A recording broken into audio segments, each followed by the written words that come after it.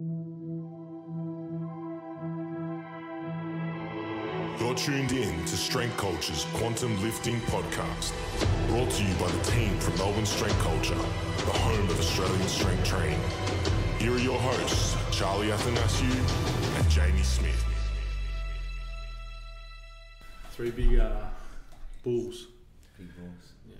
Yeah, that will just do its intro. Welcome to the Strength Culture Presents Quantum Lifting Podcast, chapter 57, the Christmas edition. the. Christmas special. We were going to wear Santa hats, but forgot to get some. How would you have gone wearing a Santa hat? You would have got around it? Yeah, we'll go around. Yeah, crazy. So we got we got Jacob Schepis in today, all the way from the west. He's driven down, Flying down. flown down. Uh, so obviously, this podcast actually started during the week. These two having a bit of a discussion on hypertrophy. We had a D and M discussion. So we're like, why not come on the podcast and discuss? Uh, Did he have the nuts? He's got the you've got the nuts to be here, and he's got the nuts to discuss with you. Okay. I'm happy to facilitate a conversation and With- with open up some chat. amicable conversation. I'm just going to sit here and fac- oh, I'm the facilitator. All right. I'm the facilitator. I'm the I'm the, the facilitator. So the first, well, we got Jacob here. Do you Yeah, we'll talk about Do you want to introduce yourself quickly to, to the people listening that don't already know who you are? Yes, so my name's Jacob. I'm a strength and physique coach at JPS Health and Fitness. That's uh, my company that I co founded with uh, my brother Sam. I've been personal training for nearly 10 years now. I dabbled in bodybuilding, a bit of powerlifting, and very much interested in the science and application of building muscle, getting people stronger, uh, looking better, and all those sorts of All things. that stuff. Nice. Well, my first question is because I've actually, when we decided to get you on here two two days ago, which wasn't a massive time, but was actually how JPS came about because you guys have been in business quite some time. now. It's like eight years, eight years. Yeah, I think um, When I was 20. Yeah, so I was going to ask because you're only yeah you're 27, 28 now, 28, Yeah, 28. 28. So you know quite young. How did you? What was the point that? Because I've heard his story of opening a business, but I've never actually heard yours of starting a business and um you know Yeah, so having the nuts to do it. yeah, I was. Is this just before you go? Is this close enough? Do you want to just check the sound? Uh, looks like it. Yeah. It's picking picking up some stuff. We can put it closer if you want. Yeah, crazy. Oh, sorted. Yeah, continue. Yeah, so like uh, most young kids out of high school, I was just trying to make some money. Um, I was working, I think it was three or four jobs at the time, and I was trying to crack into the VFL. Um, and Play? Yep. Yep. And personal training sort of popped up. Did my cert three and four, and I was uh, already heavily into the gym. And at that point, had a lot of people asking how I like transformed my physique because I went from like a pretty chubby, average-looking young fella. Um, Jack To- tanned and juicy. no, I wasn't jacked, but I was just like, yeah, pretty lean. Got very good at starving myself. Um, and people asked me to write them programs, diets, and things like that before I had my cert three and four. Uh, so when I got my certs, uh, the gym pretty much that I was training at offered me a job. Yep. And I took that by the balls, ran with it, and started coaching people. And then uh, that was at Recreation Health uh, Club in Essendon. I built up to 30 or 40 clients in less than six months. Um, and then my best mate also did his cert three and four. He didn't want to do his own thing. He said, I'll work for you. So I started giving him clients at the same gym. Sam saw that we were both doing pretty well. He's like, I want in on the action. Started building him up. And before you knew it, um, three of us had you know nearly or 100, 150 sessions a week between us. Um, and we're all paying rent. Yeah. So it just didn't make sense. It Yeah. got to the point where I was like, this is just not, you know, not sensible. And they wouldn't, um, you know, give us any kind of uh, deal or subsidise uh, any of our rent. Well- so Well, actually, no, I won't ask. that. I was going to ask what gym, but you probably I well, already said recreation. recreation. I Health missed, I missed that. I missed that. I started a I recreation. missed that. And um, yeah, so I was studying law, um, working various other jobs, slowly cut out all the other jobs, and um, had saved up a bit of money, and uh, went out on my own and rented a space and bought all the equipment, and off we went. And that was um, Is it the same space you're still in? no, so that was on Keilor Road. There was a little shoebox, and then built that up to we had eight coaches at, at, towards the end, and we we're doing about 300 to 400 sessions a week out there. Um, it was it was pumping. That's good It was like a little fucking nightclub. It was great. yeah. And then you then- moved into the current facility. Yeah. So I sold my house, bought that property, moved everything across. Oh, So you own the property. Yeah, Uh, uh, and um, there's a reason McDonald's successful, biggest real estate company in the world. Yeah. I watched. Uh, what was the movie? The, uh, Starbucks as well. Yeah, What was the the founder? Mm. That's how he. That's how he he, he wolfed them out at the end because he bought the property, found a loophole in property law, and that's Yeah. how he, he somehow overtook their little business and turned into a multi-million. It's actually a really franchise. good, really good documentary. I would definitely It's recommend movie, yeah, or docu movie or whatever you want to call it. It's uh, the founder. It's That's on good. Netflix. I'd highly recommend. It. I watched it going to Europe in 2017 on the way. It was good. Yeah, yeah. Good memories. That's interesting. So I've never I've never actually heard that that story. Yeah. Are you looking at staying in that current facility? Because you own it. Yes, and potentially expanding. Um, next door. Sam and I, yeah, there's a couple of ideas we've been floating around. Um, we obviously had Port Melbourne, gave that a crack. Really bad timing on my end. I rushed it. I was just stubborn um, and said that I wanted to have a second facility. Went and did that. Was doing all right. Like we were breaking even. Um, had a good number of coaches out there, taking plenty of sessions, and it was growing steadily. Um, but I just had my second kid when we opened that. Um, so it was, yeah, one of those uh, situations where I had to make some tough calls and prioritize the family. So fortunate that we had the offer from one of my mentorship students. One day out of the blue, just said, you know, how much would you sell this for?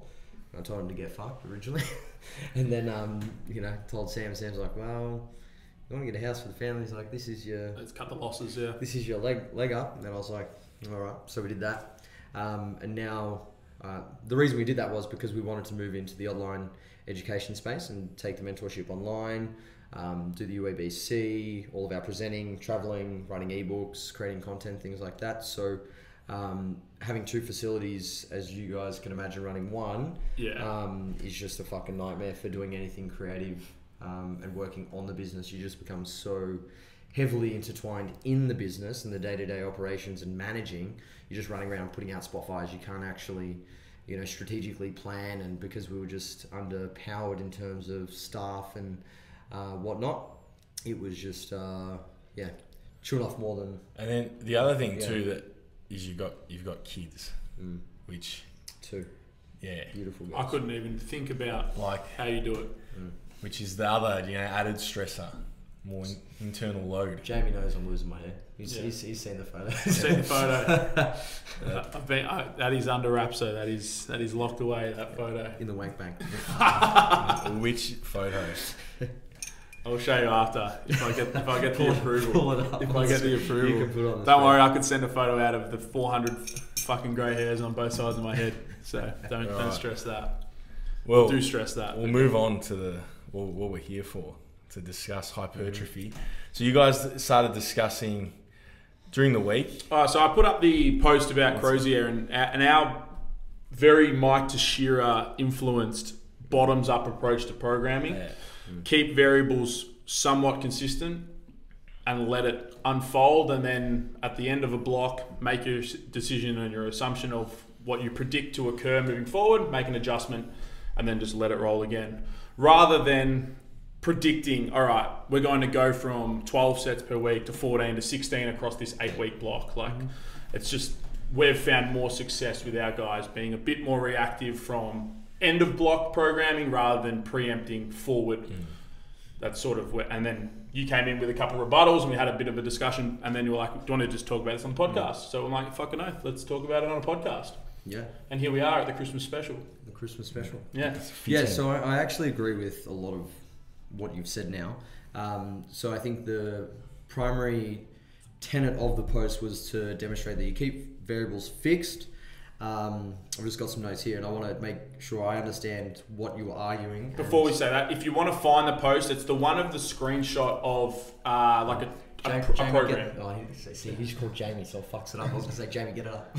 Pull it up. no. Um, so I can, uh, I can, I'll share it when we share this episode. I'll share the post, the, the photo of it again. But you can find it. This is on Instagram. I Instagram. can put a link. 10 I can put a link in the. Uh, It's about ten posts down. It's literally just the, the blue training template that we use here I at can Strength put a link in the uh, Instagram link Yeah, Yeah, description box below. in the description box. We've been using the description box in the show notes. below. Yeah. It works. Yeah, so I want to steelman your argument, make sure I understand it, and uh, ensure that we're on the same page. So I think the first point that you're making was that fixed variables allows for a better assessment of what works and what doesn't because there's less noise Yep. um, within the program. Without a doubt. Um, second point was by holding reps, RP, and sets fixed throughout a block, the athlete becomes their own science experiment, uh, as the experiment allows for assessment of how they respond to the program, so that bottoms up approach.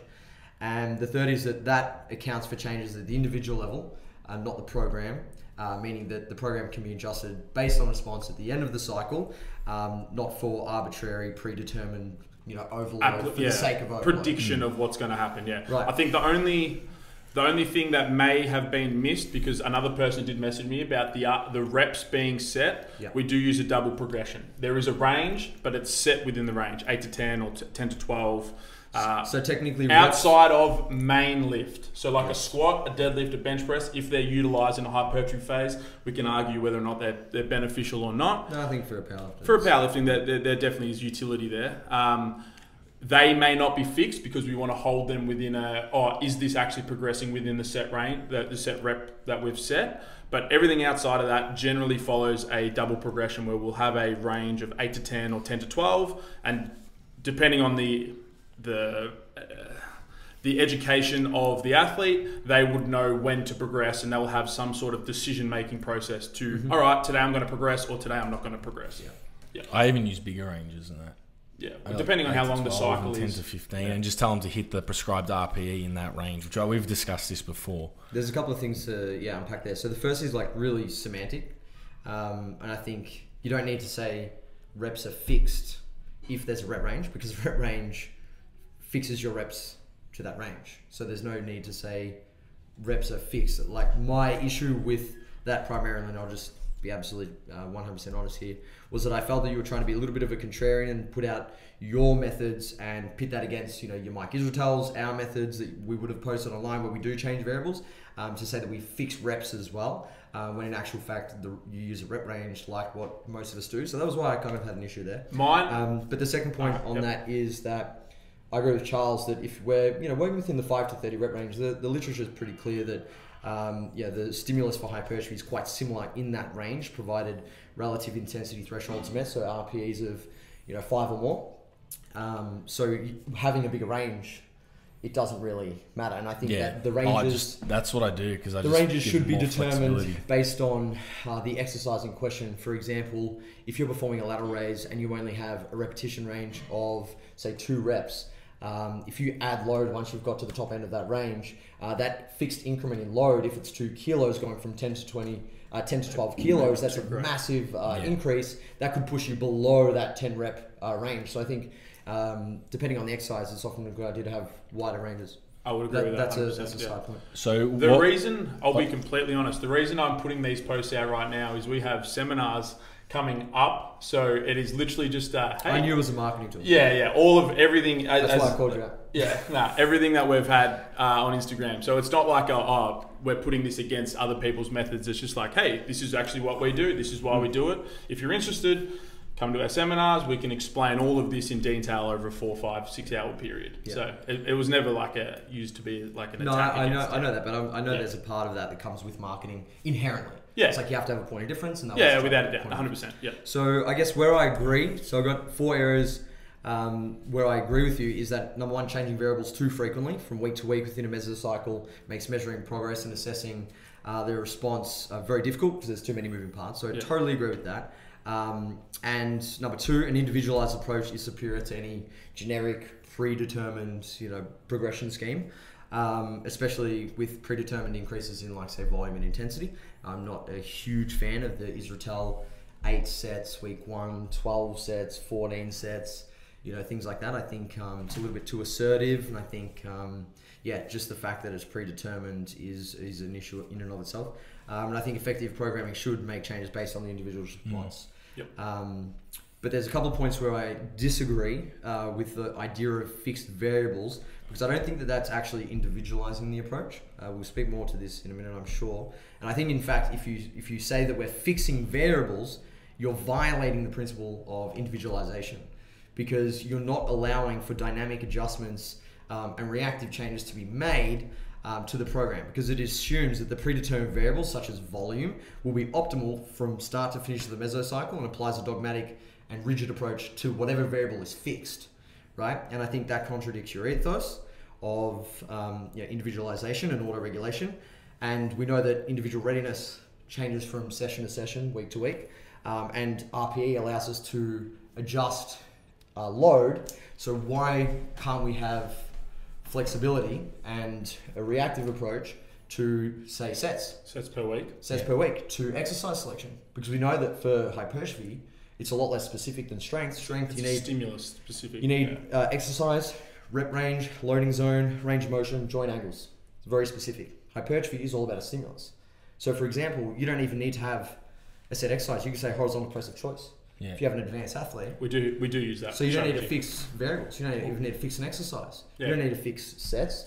Um, I think So you would so uh, based off that premise, I'm just playing devil's advocate. Yeah, no, that's fine. I, I, we believe us. We are we are far in the range of challenge ideas, have big, bigger discussions, progress the the entire consciousness of our uh, industry We're- together because we're we're, all we're all running our own little ships that ultimately are, are fighting the same battle. So We're a collective consciousness. we're a collective. Con- that's the word I was looking for. Um, so started reading down your I, book. I haven't, man. I've got it here. I've got the notes here. I've, I've, I've because I'm, I'm listening to the brain that changes itself currently. Bacteria. I wanted to bring it up you. Um, all right, so uh, 100% we do use uh, horizontal roll of choice, one arm roll of choice, two arm roll of choice, um, arm variation of choice, bicep, tricep, whatever. So we do utilize that strategy depending on the person, depending on the context. It's all going to be context dependent. How would you go about uh, outside of educating a, a, client? Obviously, like because there's there's multiple ways in which you can individualize a session for a person. You can heavily restrict all of the variables to a point where it's it's four sets of 10 this week at this load or we can individualize the load being now it's an RPE scale you educate RPE scale reps in reverse reserve however you want to educate on that you can then loosen up the variable of reps. All right, now we have a rep range of 8 to 10, 8 to 12, whatever you want to do. You educate further. All right, if you're sitting at an RPE 9 here, it means we're probably not going to go up in load. We're just going to try and increase whatever, however you want to do that, and educate your, your athlete through that process.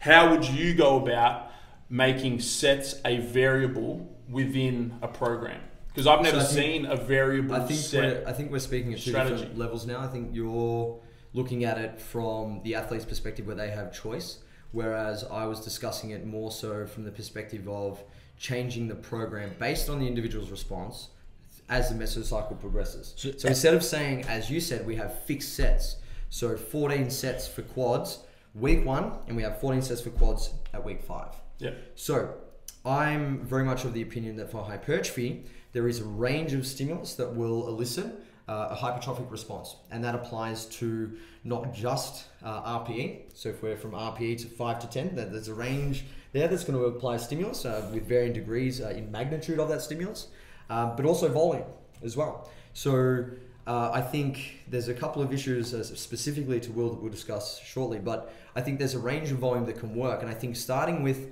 a an amount of volume that you think is most optimal in week one of a program uh, really limits your ability to overload the variable that has the strongest relationship To with hypertrophy, hypertrophy, which is volume. Volume.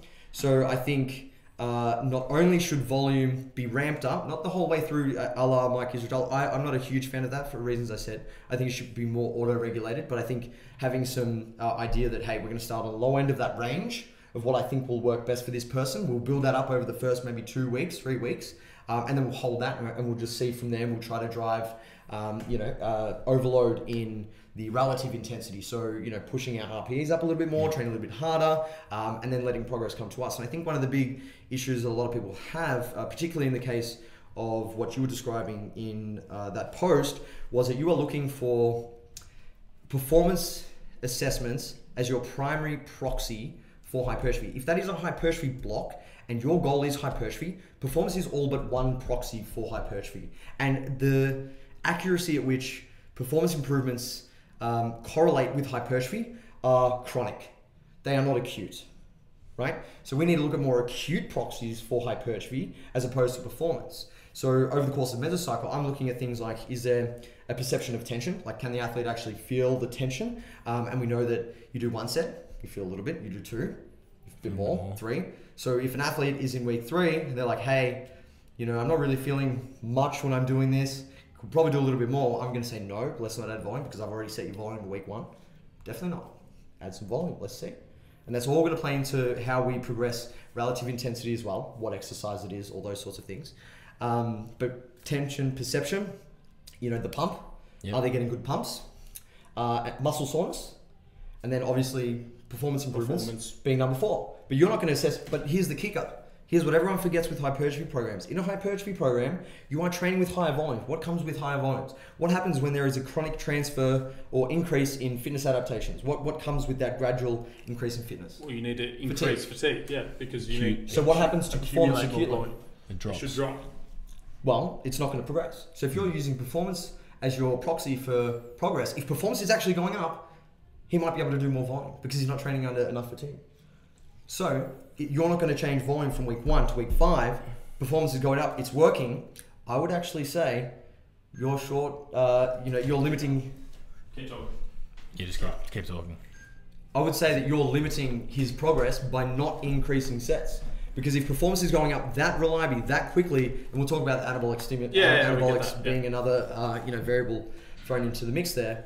Um, I think that there's a range of sets, uh, set number per week per muscle group that is going to provide a very potent stimulus for hypertrophy. And I think that you know you start on the lower end, you work towards the middle, top end of where you think that uh, you know upper limit might be towards uh, the middle of the cycle, and you hold it there. You try to progress uh, on that as much as you can. But in many cases, especially when you throw in uh, anabolics uh, or someone who does have a very uh, you know stress-free, consistent, um, tightly controlled lifestyle sleep, nutrition, all those sorts of things.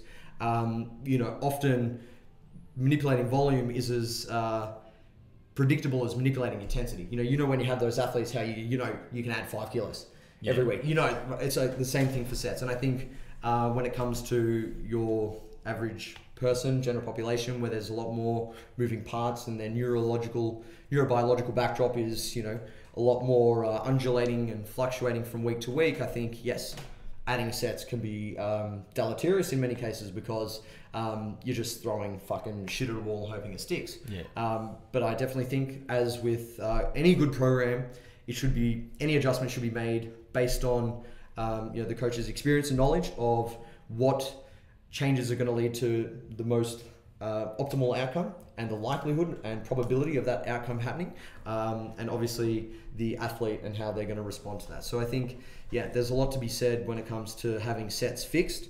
Um, I, I don't see why it can't work. Um, it can, but I think there's a better way.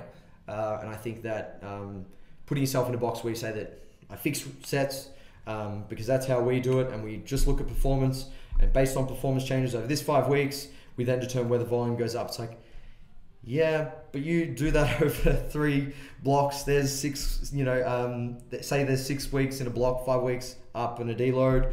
Um, you know, there's 18 weeks, and fuck, you could be really pissing up a lot of time against the wall and limiting your athlete's gains. So that's my thoughts on that. There's a couple of other things we get into. But Yeah, definitely. Oh, I was going to ask because your the post yesterday and that meta-analysis came out minimum effective dose. Yeah. So I'm not a volume fucking, you know, advocate. I just look to what I think is going to work best in the situation. I think in some cases, yes, holding sets constant is a great idea. Like I said, if someone's got too many moving parts outside of the gym, it's like you just don't don't need to fuck around with, um, you know, those kind of variables. Variables. But um, you know, when you do have someone who's pretty consistent with their training schedule, their sleep, their nutrition, all that kind of stuff. Um, I think for hypertrophy, given the dose response relationship with hypertrophy, meaning that more volume is better up until a point, um, you can go up to that point. Like, Yeah, push and to- find that point. Yeah, find that point. Definitely. And it- yeah. So and- at what point then would you? So if you've set, we'll use your 14 quad sets per week as your starting point, and you'll hold that for a, a block.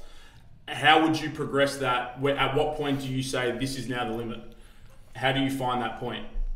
Like I said, those proxies, tension perception, soreness. So soreness. once once all of that If- has so if- soreness will will if achieve- soreness is high and we see performance decrements in two to three sessions, provided there's no confounding variables such as like sleep, stress, Yeah. things like that. If performance uh, in two subsequent sessions Has starts been- to regress, We've you're doing too much. We've hit our we've hit You've our hit that peak. We've hit our That's, recoverable that was peak. going to be my question too. Is like, how do you? And and many times you don't fucking know.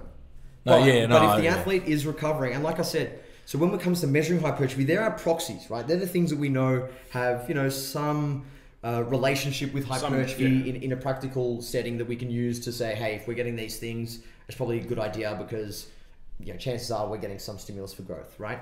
Um, but what do we actually want? We want increases in fiber cross sectional area.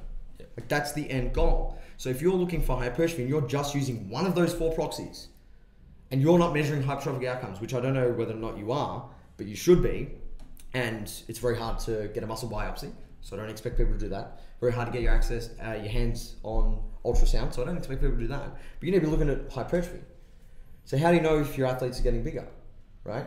Like you don't need to answer that now, but for me, I use girth measurements, right? So circumference measurements. I use visuals Photos. and scale weight.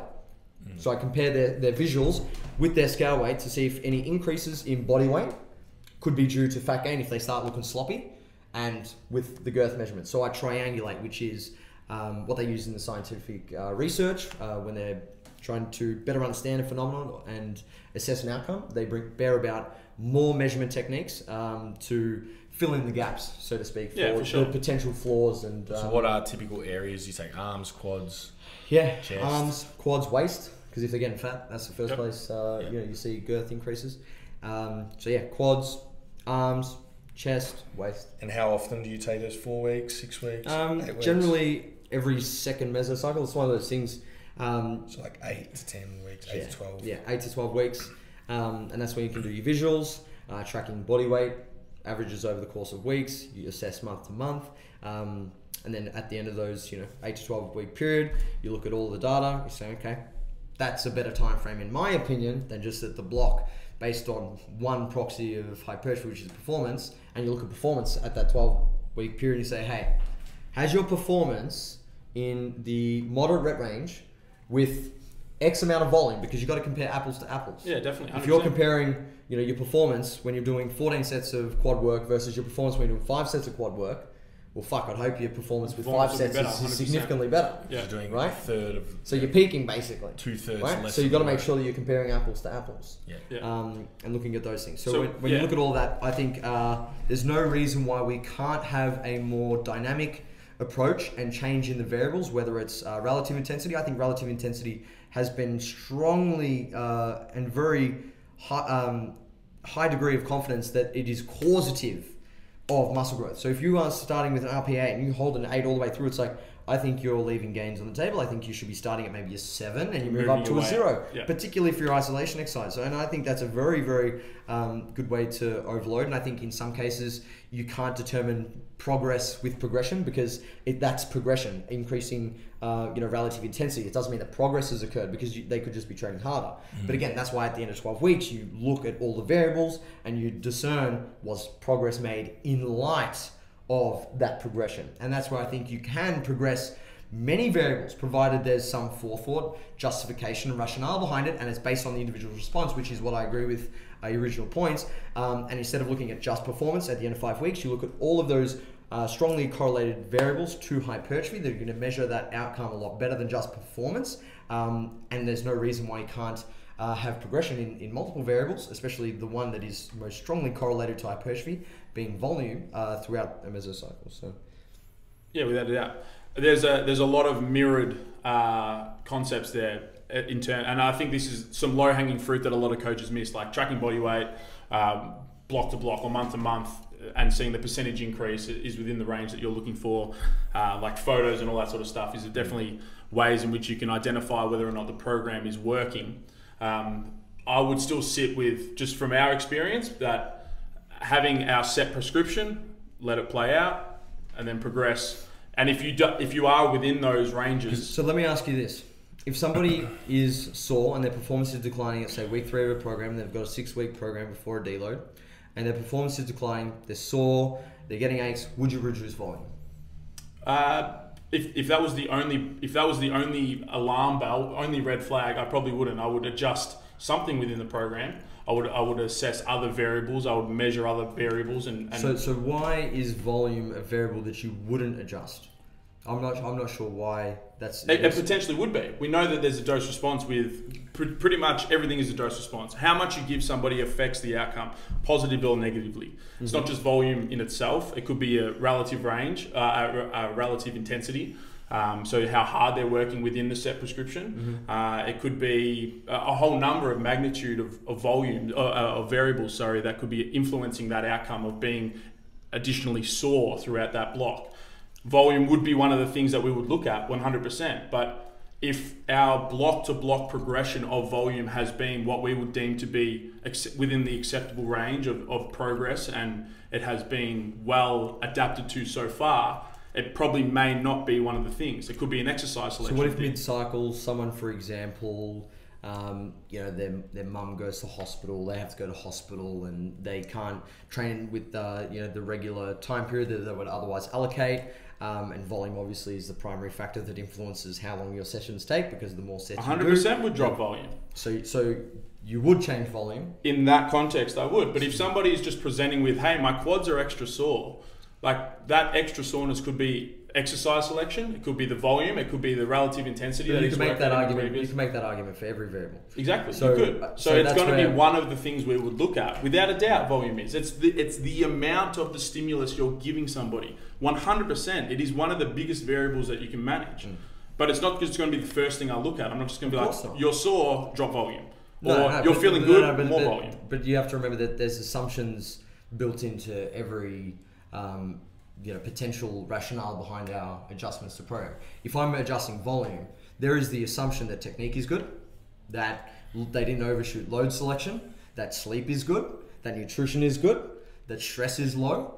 Uh, if soreness is then high, then I am left to adjust volume. It's- 100%. it's- In that a- in that context, Correct, you just presented correct. one hundred percent. So, so let's make sure that we're, we're speaking on the same page because I would not just increase or decrease volume just because someone's sore. There, there are so many other factors, you know, uh, loading under stretch. If they uh, actually, you know, improve their technique and they start getting a longer range of motion, uh, for whatever reason, they could be pausing longer in their in their pec flies, whatever it is, and they fucking say that they're sore. Or they train with a friend and their friend pushes them a little bit harder, and they, you know, pull up sore from that. Um, you know, I'm not going to use soreness as the only indicator, but it is an indicator when all other variables are held Uh, are controlled, yeah, and, and, that, and that's where we need to make sure that when we're looking at adjusting volume, if all other variables are held constant, and I would assume that they would be for Will because he fucking lives, breathes, and eats iron. not not necessarily. Well, I would. I would that's That's uh, an assumption but it doesn't quite play out in that, particularly with some lower body exercise selections that we have to deal with from previous injuries and all that sort of stuff. But I'm talking lifestyle management stuff. Lifestyle management, 100%. But in terms of the training program, it actually is quite a variable, almost like a, a week to week, day to day basis of, all right, we need to try this, we need to try this, because there are some previous injuries that we are dealing through. And I think So it sounds like nothing in Will's program is really fixed. If you're working around injuries, you're going to make changes on the go uh, because that sounds like nothing's actually. So yeah, we try to Okay. fix the variables that we can. would you would you mean that you, you probably put parameters on the variables and you say that well, this is the kind of range? Well, yeah, this kind of definitely. I would, yeah. So I think that's a better way to say it rather than we Then fix reps, fix- we fix RPE, we fix. It's like well, there are par- parameters. Like you never know if you got an RPE eight. It's like No, it's- come No, on, sure, 100%. Uh, it's like it was able, it's like it's like parameters. It's like are we in five to ten? You know RPE. That's Yeah. the parameter. That's- are we yeah. within X volume? That's the parameter. It's like I think for parameters, um, that's a better way to advocate uh, how you design a training program. It's like we have parameters, um, which we know with great degree of confidence are going to likely work for this individual uh, as long as we stay within those parameters. Whether we go to the low end or the high end, you're still within the parameters It's- of what will work, and especially for context of the- hypertrophy. It's a stimulus, um, and we're looking at a, you know a, a mechanical stimulus that converts into a chemical signal um, that increases muscle protein synthesis, um, turns on all those anabolic processes that uh, leads to increases in muscle cross sectional area. I think, um, yeah, what we often forget is that that range of stimulus is not uh, static. It is not a fixed target. It is a moving target based on the wild fluctuations in an individual's neurobiological back, uh, backdrop. And I think that as a result of that, we need to be open-minded to you know programming within parameters and say, hey, fuck, you could do more. Let's do a little bit more because we know that that's going to build your muscle. Or hey, you know, maybe you're doing a little bit too much. Let's pull it back a little bit. And I, I don't necessarily think that those changes need to be left purely for the end of a block. I think you should be making those assessments uh, during the block. I think the assessments you make at the end of a block, which in actual fact is like multiple mesocycles strung together, are scale weight, visuals, Yeah, yeah. girths, Yep. and overall performance. That, that's a real assessment for hypertrophy. It's not the end of block.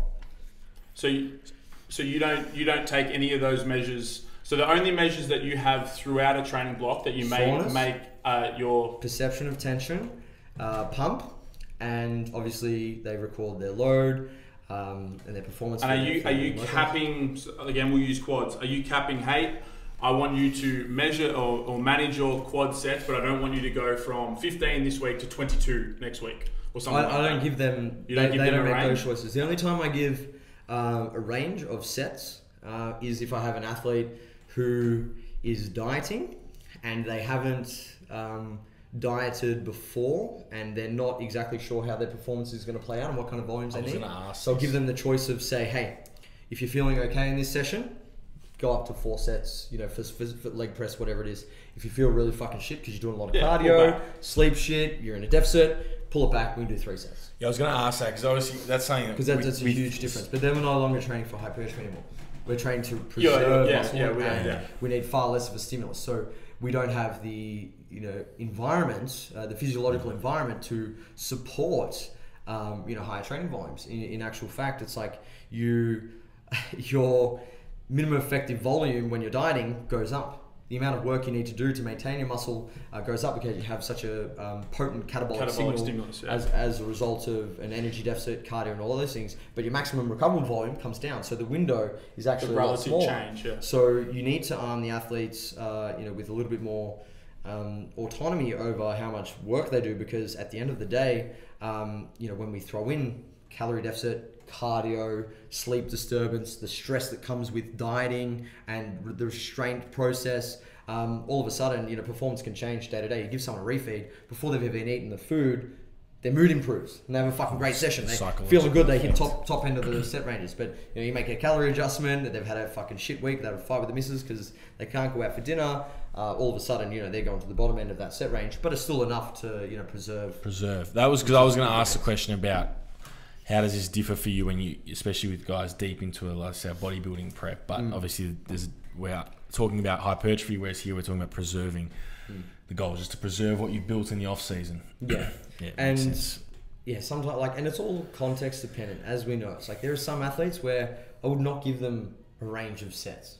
Well, this I'm this would be gonna- my in terms of so we understand like the dieting phases, uh, like deep into a dieting phase for a bodybuilding comp would be com- a completely different context. Mm-hmm. But let's let's uh, at least ref- define it within a a powerlifting sense. Somebody going up a weight class, um, and how would you equip the athlete to be able to make the necessary and at least educated call to, hey, I'm feeling good, I'm going to increase sets. Because I'm assuming you're not sitting there with every single athlete of every single session. No, So, there's got to be some sort of like a decision tree where it's, all right, this is a good time for me to add more quad sets. Yeah. So first would be uh, exercise selection. So you would confine it purely to um, accessory Yeah, like, exercises, yeah, you're not- isolation yeah. I would not advise that um, on a, a main lift like a squat, bench press, or deadlift. Uh, second would be where is when is that adjustment being made by the athlete in the context of the overall program? Is it week one? Is it week four? Is it week five? Like how close are they to deloading? If it's closer to deloading and towards the end of a training cycle, and they feel like they've recovered, uh, they feel like they're not overly sore, and that doing another set will actually be productive in the sense that they'll be able to main, maintain performance uh, relative to the prior sets, um, and it's not going to overreach them in the sense that uh, it will cause too much fatigue that they'll dig a recovery hole they won't be able to climb out of. You know, if they're doing fucking leg extensions or bicep curl, lateral raise. Um, hey, why not? I, I can't. I can see more reasons why that would be an okay or good decision. A positive, yeah. than it being a bad decision. Yeah, towards the So back it's end like, of a it's block. like, it's like unless yeah. you can find reasons uh, to argue otherwise, I'm very much inclined to say that, that that's probably you know a better decision than doing what was prescribed if the athlete feels that um, yeah they want they to could achieve and more. Yeah, they could it. achieve more. Yep. There's a, the, yeah, the, the psychological benefit of I, I felt I left something on the And table. it also it also um, you know starts to develop um, autonomy and it gets the athlete thinking about their training and they start to feel a sense of ownership over their program, uh, which can be quite Which a you know is a positive uh, for Yeah. all outcomes, yeah. really. And yeah. it just uh, yeah builds trust that you're willing to listen to them, um, that you're willing to give them a little bit of uh, ownership and control over executing the program. And most uh, late intermediates, advanced athletes, uh, you know, really like that.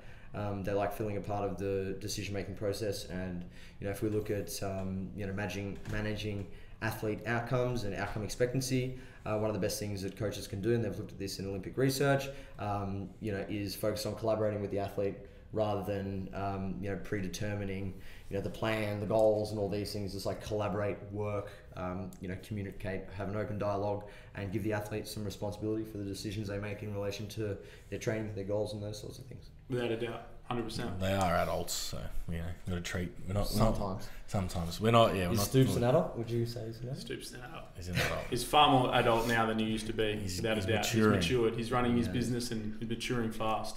He's maturing. He's a hustler. He's hustling. He's definitely hustling. a big hustler.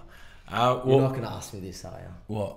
Why do we train? Yeah, I wanted to get your answer. I'm not going to be able to repeat it as well as I did that night. no, it was. It was. Okay, we'll finish on that. That was. That was because Well, is I. there anything else that I, I think it was a very? Uh, there's a lot of take homes there for, for sure. Actually, yeah, sum, let's sum it up Let's sum it quickly. up. To give whoever's listening just some key points to go right because we just rambled for 30 minutes. I had one other really important point, by the way. Oh, mate. Alright, well, if you want to, yeah. So the final one is athletes are not a science experiment, um, as exercise science is an applied science.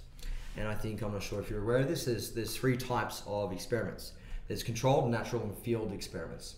So when we say experiment, um, the typical definition of that is a controlled experiment, where it's in the lab, where you are able to determine cause and effect and manage and manipulate various factors and variables things, yeah. Right.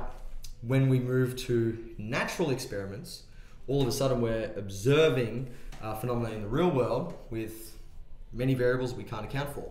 Um, so I think that again, uh, when we take um, you know program design and we put it in the context of a natural experiment, um, we need to be far more flexible um, with how we program. And I think that's where having fixed variables would work in a controlled experiment, but not a natural experiment. And that's why I think parameters is a far better, uh, you know, conceptual uh, understanding of program design. And the other thing on that is that when we have uh, any experiment, if we have two variables that are highly correlated to an outcome, uh, and both of those variables are in the mix when we're looking at determining cause and effect, how do we discern what's causing Which what? one- which we one can't. what, And that was yeah. my argument with Will. How do you know what's causing growth? Is it the anabolics or is it the training stimulus? And you don't know that because they're conflated. So I think that that is a, a really important consideration.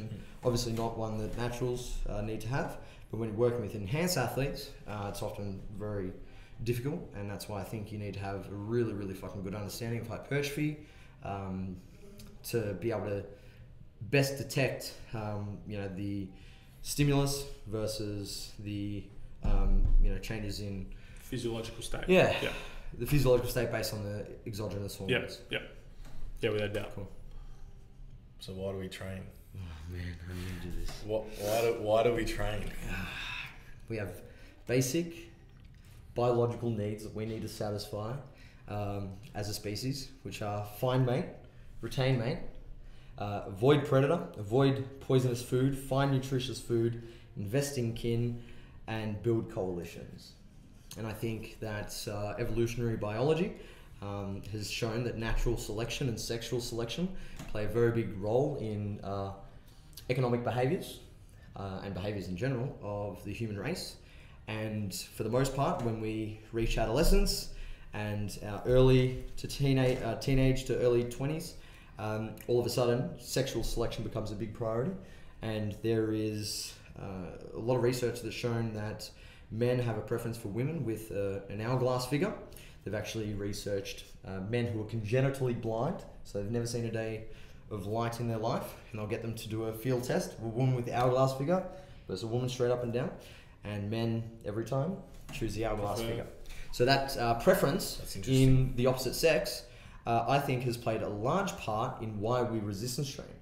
um, because obviously we can change our aesthetics, and aesthetics are a big factor in the sexual selection process, particularly for men when they're selecting women.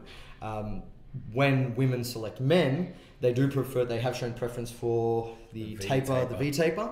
However, the the evolutionary cost, the biological cost of um, procreation for a woman is far greater than it is for a man.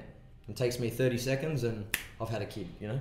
Um, but for a woman, they get impregnated, nine months carrying the baby, Plus labor, yeah. plus 10, 20 years looking after kids. So their preferences are not only aesthetic driven, they're also related to, you know, status, power, ability to protect, competency, all of these Longer sorts of things. value. Correct, correct. So uh, some differences there, but I think for the most part we get into lifting to attract the opposite sex. Uh, as a result of that, over time, we realize that's a fucking hard process. We start to change our values because all of a sudden we realize that competency, um, you know, education, and all these and career start to help us attract the opposite sex more than how we look. Um, so we devalue training a little bit. So we stop training for bodybuilding. We start doing powerlifting. Uh, this is my experience uh, with a lot of my athletes anyway. Um, but then we, we start to use training to satisfy other uh, elements of life and solve other problems that we now face uh, as a result of technological advancements. So we now have agriculture, we now have technology. We don't have to hunt and gather for food. So we're not uh, expending energy and you know feasting and famining. We are exposed to a very obesogenic environment. So now resistance training and exercise uh, serves a different purpose, not only for sexual selection, but uh, maintaining and fighting off um, you know, disease, maintaining health and fighting off disease, uh, but also building coalitions. So it gives us a sense of connection to other people, which is really important um, for obviously well-being. Um, it gives a sense of purpose when you go to the gym, belonging, relatedness, all of those things, and yeah, becoming competent um, and mastering the physical body. Uh, you know, your physical attributes as well as your mental attributes. I mean, the challenges that come into the gym, uh, I think, are very empowering and they have great transfer to other areas in life. When people start to realize that, they become hooked. And I think that uh, humans are pleasure seeking, um, you know, animals, and we get pleasure out of punishing our body because I think some of us have a little bit of a sadistic nature. There's a Um, the so, yeah. spectrum of pain and pleasure. I just read a book called The Other Side of Happiness that talks all about this, and that happiness often, or joyful experiences often sprout in the times of painful experiences, and that they, you know, that there's a fine line between ple- pleasure and pain. You can't have one like without after sufferance, there is yeah, pleasure. you can't have one without the other. So it's ignorant to think that you can chase this end goal of pure happiness when um, pain has to come along for the ride. They both have to be there. And the deeper you can feel one actually means, relatively speaking, you can feel the other one even more. Like Um, so it was it. it was, that's that's funny that you said that because that's the whole book that I just read. So That's really cool. well read. What was the book? It's called The Other Side of Happiness. was happening? I Yeah. Yeah, I'll be looking into this one. Did I answer that as well? as I That, did that was good. one? I reckon that was almost better. Really? I hope it was better. It was good. it was good. I, I, no, I liked it. Well, we, we often talk. We, we used to say as well when we were 16, why do you get in the gym to look better? Because you want to attract chicks. You go through that elegant process of defining the variables and stuff. My why do we live? Find food and fuck. That's literally what I boil it down to. yeah, pretty much. I've never thought about, though, that obviously I liked your little explanation of that we also train to, to some form of physical, Mm. um, because we, we obviously lack that in today's society where we're, a lot of people are potentially stuck in offices um, and we've evolved to move Correct. and do things and be active. Feels good. Locomotion is and you one know we obviously get a quite a, functions. Is, you feel an element of ecstasy Happiness. after training that you know dopamines opioids whatever they are that, that was actually in the book as well Mhm. that um yeah you feel good and you like that sitting at a desk all day staring at a LED light it's true. so yeah Blue Oh, light no, blockers, mate. Change the world. yeah you still don't move One screen at one screen at a time. I've never, I've never worn. Yeah, it. man. I've never worn. I was going to say, I don't think you're the kind of guy who I got it I got Do, they, do, do they make any change to anything? you wear them and then you take them off and you're All right, the light enough. destroys your eyes you know it's one of those things it's like you don't notice the humming in the, until it's turned off Yeah. All right. It's like you don't notice how bright everything is until you put those on for half an hour, take them off, and it's like the walls look blue. Crazy. Um, so yeah, Crazy. Crazy. That's what I said. Easy. crazy. no, I'm happy with that. I'm happy with that, that definition of why we lift, why we train. Thanks, man. That's good. I'm good. Anyway, well, um, I think we've, we've gone. Gone 50 minutes. 50 minutes. Flew by. So we'll wrap it up there. Um, thank you for coming on, having that having me, discussion. Thank you. If people want to find you, if they're interested in learning more about hypertrophy or anything that you spoke about today, where can they find you? Uh, JPS Health and Fitness is our website. Uh, JPS Education is the sister company of JPS, which is responsible for, as the name suggests, all of our education stuff. So we have an online mentorship course. Uh, we have seminars uh, in various states uh, in 2020. Um, and we put out a lot of free educational content on our blog, on our YouTube channel, as well as the Instagram page itself. So if you follow that one, you'll uh, be sure to stay up to date with all things JPS. Perfect. Well, I think we'll wrap it up there then. Thank you for listening to this episode. Merry Christmas. Christmas. This will come out, Christmas. Next Thursday. which will be Boxing Day. Boxing Day. Boxing Day Merry special. Christmas anyway. Happy New Year. Season's greetings. And we'll see you in 2020. New decade, new era. Big Crazy. things for Wow. JPS and strength culture. 2020. Big. Let's go.